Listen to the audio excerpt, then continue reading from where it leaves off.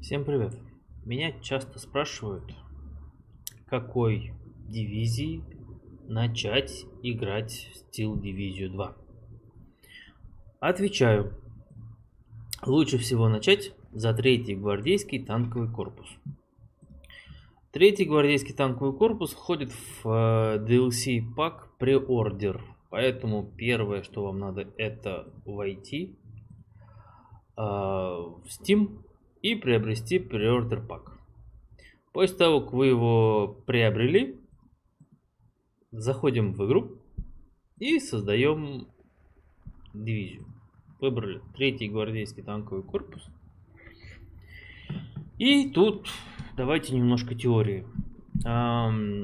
Логика новичка обычно такая. У меня танковая дивизия с тяжелыми танками, поэтому я наберу в нее много-много танков и буду танками ездить, всех убивать.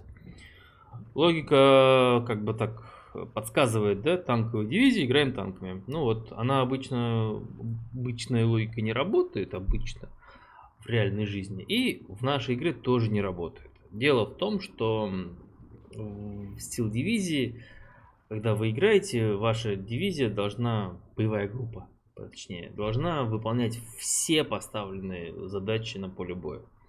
Например, вас пробили в каком-то месте, и враг закрепился. Закрепляются обычно двумя способами. Первое, это выгоняют тяжелый танк на позицию, на возвышенность, и с этой возвышенности стреляют.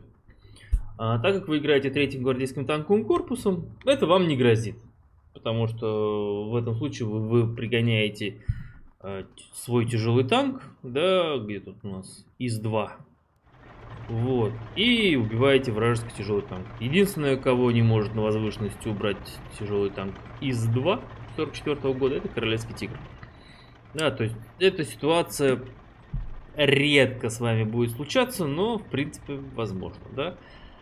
А другая ситуация, это легкие танки, средние какие-нибудь, да, или даже тяжелые в вашем случае, будут э, прятаться за складки местности и сидеть там чтобы вы не могли их достать. А когда ваш тяжелый танк сблизится с э, ихним тяжелым танком, там шансы уравняются, да, бронепробитие будет увеличиваться по мере, по мере приближения, э, сближения дистанции, точность будет увеличиваться, да, броня будет играть все меньше роли, и как бы там вполне возможен размен. А так как он будет стрелять первый, сидящий, в засаде, да, то у вас шансов становится еще меньше.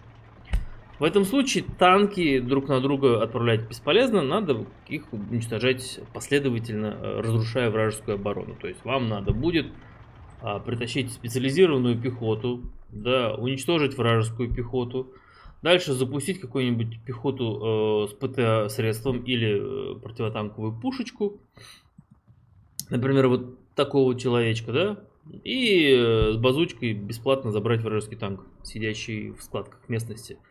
То есть, если он сидит в вкладках с местности, значит, к нему можно подобраться пехотой или пушечкой какой-нибудь, да, или забомбить. Поэтому э, танковой дивизии нужны все средства борьбы.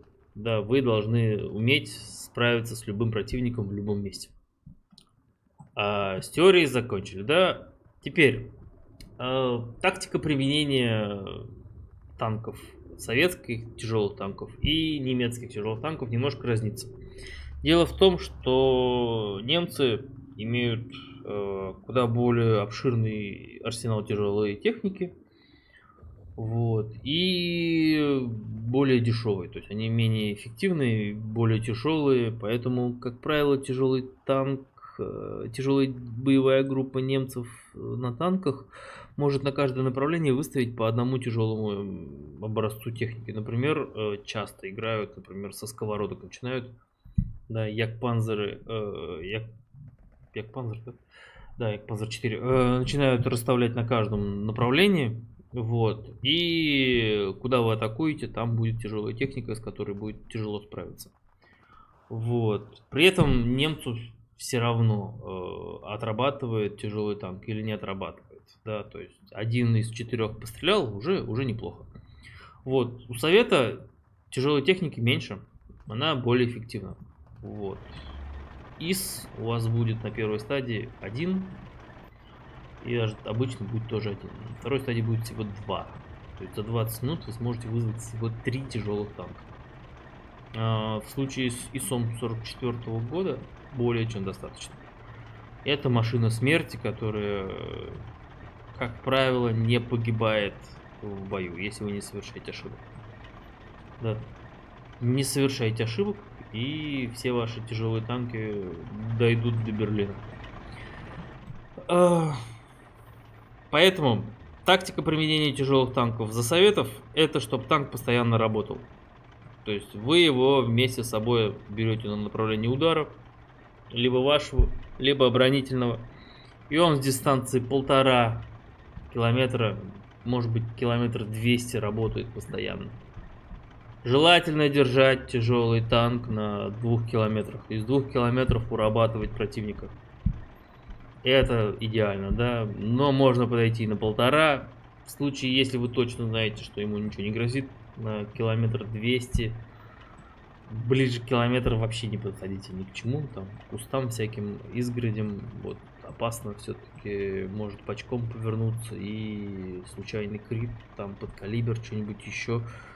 Да, 110 брони в боку все равно могут пробивать с близкой, с близкой дистанции даже пак 40 какой-нибудь. В общем, э, аккуратно с ним надо делать. Но он должен постоянно работать, да, вот он... ИСы это те танки, которые боекомплект расстреливают. То есть вот этот всегда расстреливается, там процентов 95, да, Пулемет редко расстреливается, потому что все-таки на, на дистанцию лучше не подходить. А вот под калибры и ой, это самое, АП и фугасики, вот можно прям расстрелять все. Очень хорошо работают. Да, бдыщ, бдыщ, бдыщ. Скорострельность не очень высокая, но вот ты можешь все расстрелять. Так, это рассказал. Теперь, э, чем сила этой деки? Сила деки это в комбинации среднего танка, лучшего среднего танка в игре и в комбинации лучшего тяжелого танка в игре. На мой взгляд, ИС лучше, чем КТ. Эм, почему? Потому что более универсален, мне больше нравится. Тонкости входить не буду. Так, теперь давайте соберем нам дивизию. Э, первое, я посоветовал взять э, БА-10 на какой стадии вы его возьмете, честно говоря, не знаю, но точно надо брать один. Одну карточку. Это хорошая повозка. За свои деньги прекрасно работает. Да? 2 ДТ, 45 в общем, все хорошо. А, я бы еще посоветовал взять базучку. Опять же, стадию вы можете выбирать под свои нужды, как вы собираете деку. Каждая дека будет универс... Э, оригинально. А, не надо копировать мои. Моими деками довольно тяжело играть, если вы если вы не обладаете достаточным опытом, поэтому подбирайте под себя, да, сыграли игру, нашли у себя слабое место, что-нибудь пересобрали опять. Только опытом, то есть я думаю, что дека, первую атаку надо шлифовать минимум игр 30. Э, да, вот садитесь и 30 игр играете этой декой тихонечко, тихонечко в течение месяца. Не надо играть там каждый день, не задрачивайте. В удовольствие сыграли, посмотрели реплей, пересобрали деку, готовы слезать следующего. Вот. Э, обратите внимание на базучку. Базучка здесь очень хорошо, да, можно ее взять на, Ш, на Б, можно взять на А, можно взять вообще на С. На С, в принципе, я думаю, не совсем полезно уже, там все-таки тяжелые танки в большом количестве, а вот на А и на Б можете выбрать. Так, я возьму, наверное, попозже выберу, что я возьму. Так, у нас теперь пехота. Что нам нужно? Нам нужна пехота, которая будет воевать на дальней дистанции. У советов это гвардия ДП. Берем на, на быстром транспорте. Главное приехать вначале, занять позиции и сидеть. А, теперь нужно взять какую-то специализированную пехоту для ближнего боя. Я бы вам советовал брать э, танкодесантников. Опять же, на стадии А мы берем на быстром транспорте. Э, почему автомат... Ой, автоматчиков? Потому что хорошо работают в ближнем бою имеют ПТ-гранату. Их можно на направлении вообще в одиночку высаживать. Ну, то есть у вас какое-то есть второстепенное направление, высадили туда этот отряд, он в случае чего себя окупит. То есть не надо ожидать, что он в одиночку всех побьет, но себя окупит. Там набегающие автом... огнеметчики в лесу, он их постреляет, э, с саперами там разменяется, приезжающие мимо техника получит гранату. Ну, то есть все, в принципе, неплохо. А проблема в автоматчиках это позиционирование. Да, довольно тяжело их научиться сажать туда, где они будут эффективны. А, как вам с этим помочь? Не знаю. Опыт плюс смотрите стримы. Там все есть. так, пехоты на А все-таки маловато. Давайте добавим сюда какой-нибудь... Ух ты, какой прикольный. Кумроти. Вот таких вот нам нужно, да, на каком-нибудь транспорте побыстрее. Так, так, так. Э, три карточки пехоты на А. Давайте возьмем карточку пехоты на Б. На С сначала возьмем сразу же гвардию. На С пехота становится необходима как мясной щит. Только как мясной щит. Поэтому чем дешевле, тем лучше. Вот. Гвардия на С, мне кажется, в данный момент вообще классика. Самая такая ходовая карточка. Для любой деки всегда требуется гвардия на С. Так, что еще? Нам нужна гвардия на Б. Гвардия на Б. Гвардия на Б. Тут есть выбор. Как вам надо. Я бы советовал взять вот так вот. Саперы, 10 человек, на Б в принципе должно хватить вам. Вот, они могут и в дальний бой, могут и в ближний бой за счет взрывчатки. Универсальный отряд, в принципе, на Б должно хватить 10 человек. Мне, по крайней мере, в танковых деках обычно хватает.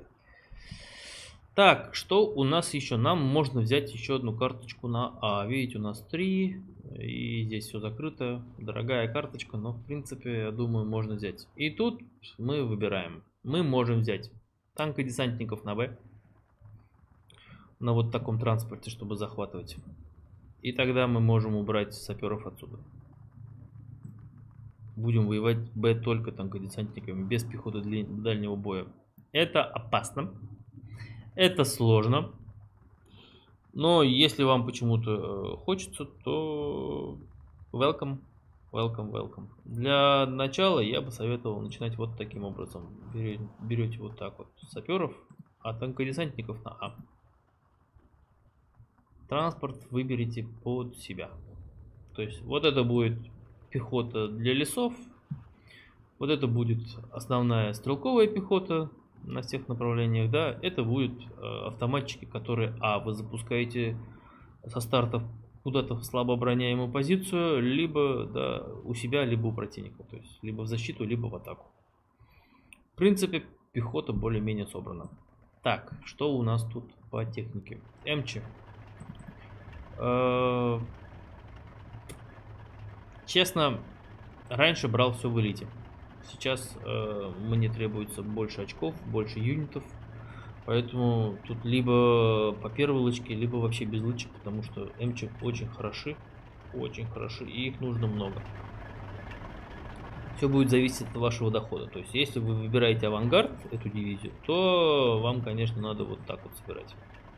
Если вы собираете flatline, можно вот так вот выбирать, да. Если вы, э, то есть,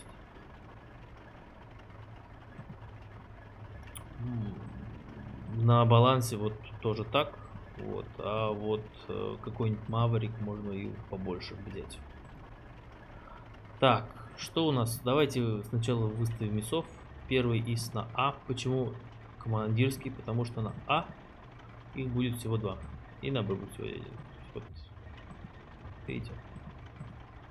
А он тут будет со звездой.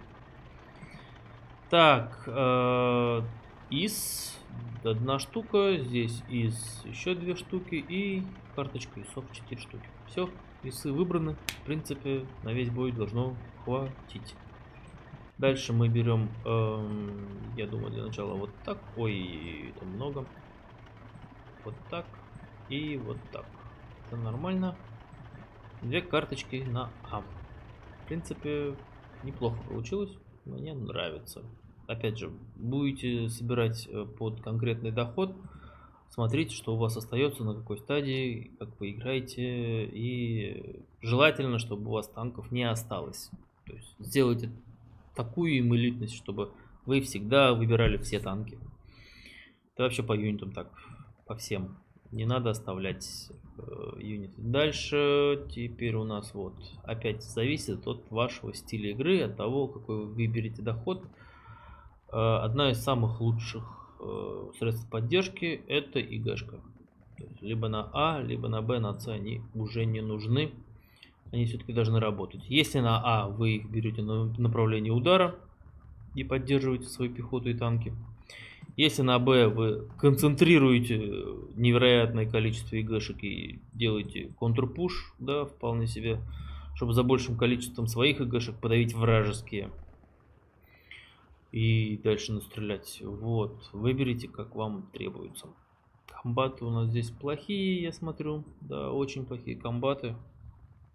Честно говоря, да, вот этот взял. Stealth Bad. Stealth Good. Вот это прям вообще боюсь брать.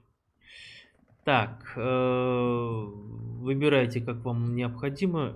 На А это будет очень агрессивный и мощный такой удар. На Б это все-таки придется терпеть на А и с помощью там Шерманов тащить. Так, снабжуху пока не будем брать. Огнеметчики. Огнеметчики зависят от того, как вы взяли танкодесантников и как вы соберете ПТРС. Если вы взяли ПТРС,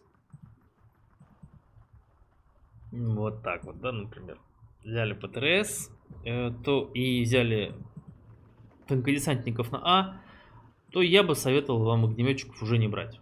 То есть э, у огнеметчиков две цели. Это ближний бой э, в качестве пехоты, да, зачистки там лесов Э, удержания этих лесов и приехать быстрее разведывать. Приедут первыми, разведают позицию ПТРС. В принципе, огнеметчики уже половину своих функционала потеряли. Вы взяли танкодесантников на А, и, соответственно, у вас требования в огнеметчиков минимальны, вам они не нужны. Э, убрали танкодесантников на Б. В принципе, надо задуматься, взять огнеметчиков, да, и, возможно, отменить ПТРС. Вот, тогда можно без ПТРСов, э, без танкодесантников, на одних огнеметчиков они и ту, и другую функцию выполнят. Но ПТРС еще и настреляют наезжающий транспорт. А огнеметчики с этим не справятся. Но зато освобождается э, карточка под панзершек. Тоже хорошо, да? Вот, это все зависит, как вы будете играть. Дальше, Максимы мне нужны, пехоты у нас на А мало, и я бы вот еще Максимчиков взял. И возможно, возможно, возможно, возможно, возможно. Ох ты, а Максимчики можно взять на С? Да. Давайте Максимчики возьмем на С. На С, карта Максимов. Классика. И вот так вот. Вот в этом случае можно попробовать вот так вот вообще взять. Э, разница между ИГшкой и пулеметом. Пулемет ИГшку убивает на дистанции до того, как он достает до нее, да, на 1200. ИГшка, соответственно, убивает пулемет на 2000 метров. Поэтому смотрите дистанцию боя, какой, какие противники вас там ожидают, дистанция боя будет около километра, ну, может быть, максимум полтора, да, тогда берем МГ, вот, или СГ, если у нас 1200. В любой другой позиции ставим ИГшку. Танчики, противотанчики, противотанчики берем вот так вот ПТРСик. Сейчас бы советовал взять э, на первую стадию Зиску и подумать над Зиской на Б. Но в принципе, или панзершеком. Вот эту карточку давайте оставим на потом. И ее нас вот эта карточка не заполнена, вот эта карточка, вот эта карточка и возможно вот это. ПВОшки. На ПВОшке первой стадии это 100% э, зенитка. Она хорошо работает, отлично. Дальше бы я порекомендовал вот так вот сделать. Почему? Потому что контрбатарея.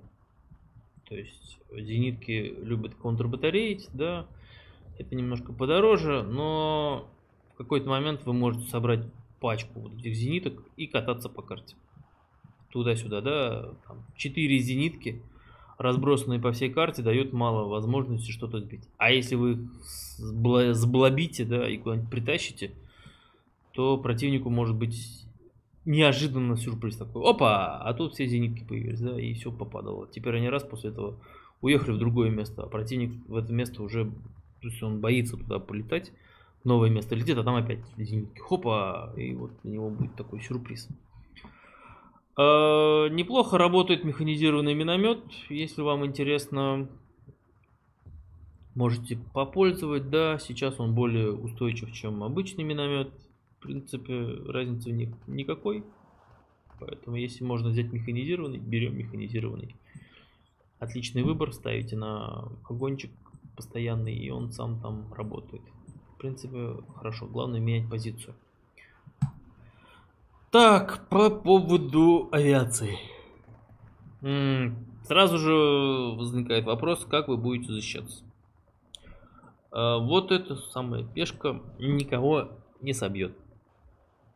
Вот. В лоб там боевая огневая мощь слабая, зато хорошая устойчивость и много летает. То есть, если у вас внизу зенитки, вас прессуют вражеские истребители – вытащить вот такого файтера тяжелого, да, и там под своим ПВО разбираться с э, врагами, да, вот. То есть файтеры вражеские залетают на вашу территорию и пытаются там вас поддерживать, собственно, э, бомбардировочную авиацию. Вот под собственным ПВО летать чем-нибудь таким хорошо. Их, в принципе, если их много на вызвать и дешевые, да, они могут прикольно там долгие докфайты тащить. Опять же, за счет того, что они сами почти не умирают, да, высокая выживаемость, да, и настреливают оборонительным вооружением. Но это такое, знаете, это вот прям на любителя, это надо уметь, это надо чувствовать, когда их можно выпускать. Есть шансы, что какая-нибудь тяжело вооруженная фока зайдет у вас, собьет и уйдет. Поэтому новичок, берем карточку, берем карточку, вот так. А, есть нифиговый самое, шанс, нифиговый самое возможно, эм, как вам сказать, а, смысл брать вот разведчик, да, то есть вот разведчик очень неплох, мне нравится, это почти истребитель. Да, видите, практически то же самое. Летает, хороший, все у него нормально, разведует. Вот, даст вам возможность узнать, что происходит. Проблема, чем кидать бомбы, чем поддерживать свою пехоту. Ну тут вот так вот. Если вам не хватает, можно сделать вот так вот. То есть смотрите на свое усмотрение, как у вас э, получается, что у вас происходит в бою, потому что и илками, в принципе, можно в лоб зайти и что-нибудь там протаранить вражеский истребитель. Опять же, илки не панацея, нужно иметь внизу ПВО, который прикроет илок в случае чего. Вот такая у нас получилась дека, которую вы можете сейчас добрать. Что можно добрать? Первое, это выбрать под себя э, доход. Да. Э, играются балансом, мне кажется, это ДК раскрывается в полной мере. Проблема только в том, что большинство э, игроков вам не даст дожить. То есть они вас будут бить, бить, бить, бить, бить э, и могут пробить. Э, но на мой взгляд, это очень хороший доход. Если вы научитесь выживать, в принципе, будет очень неплохо. А, плюс против слабых игроков, мне кажется, что если вы будете попадаться со слабыми игроками, особенно с немецкими танковыми дивизиями на балансе, вам на балансе будет чувствоваться себя очень-очень даже неплохо. Вы будете прям в фаворе всегда. Можно взять э, Flatline, Flatline, тогда немножечко придется под э, добрать юнитов на первые две фазы, да, и убрать с, э, цену. В принципе, у нас на C толком и ничего нет. Вот. На этом доходе против тяжелых танковых немецких дивизий в балансе вам будет, ну так, я думаю, дискомфортно, но за счет того, что у вас дикий, дикий танчик, э, да, дикий из, можно и так сыграть. При этом отлетать на первой стадии вы не будете, можно будет играть от накопления довольно так стандартно, э, надежно точнее. Так, авангард я бы не советовал. Это надо делать удар, нацеливать на ИС, то есть берете ИС, обмазываете его э, шерманами пехот и пробиваете противника. Да, это возможно. В этом случае, мне кажется, надо будет отменить карточку ИСов, взять ее еще на А, вот так вот. Два ИСа, да, один 43, э, один 44. Наверное, даже брать 44 в начале придется. Ну, чтобы так, реализовать по полной. Вот, э, добрать оставшиеся поинты, либо вот так вот, да, вам снабжение, если нужно. То есть какое-то снабжение в любом случае потребуется, да, вот так вот. Вот, тогда уже третья карточка дороговато. Можно взять, мы не взяли базук, панцершек, можно взять базучку, вот так вот. Да, и у нас остается еще на что-то. То есть либо а, а, артиллерия какая-нибудь. Вот. Либо вот отменить здесь вот взять у нас вот тут вот какой-нибудь, э, например, вот так вот. Ну, то есть это на самом деле зависит от вас, как вам хочется. Набирать, в принципе, тут можно отменить и играть без снабжения. Тогда у нас вообще получается много карточек, да, можно взять базуку сюда, пару ПТшек сюда. ПТшки нам, в принципе, не очень нужны. Можно взять карточку пехоты, например, на А. Так, еще саперов. Да, и базучку вот так вот долбануть. Вот. Прям великолепно, да. Если у вас э, хватает э, фаер суппорта и вам не требуется начально поддерживать свою пехоту, даже в второстепенных направлениях эту можно штуку убрать. То есть тут вот довольно большой простор для творчества. Даже в той сборке, которую я вам показал, можно найти для себя, что вас устроит. Ну что, вот такой вот получился гайд. Надеюсь, я ответил на вопрос, какой дивизии стоит начинать играть в сил дивизию 2. Пишите комментарии. Оставляйте вопросы, буду отвечать. Всем спасибо. Пока.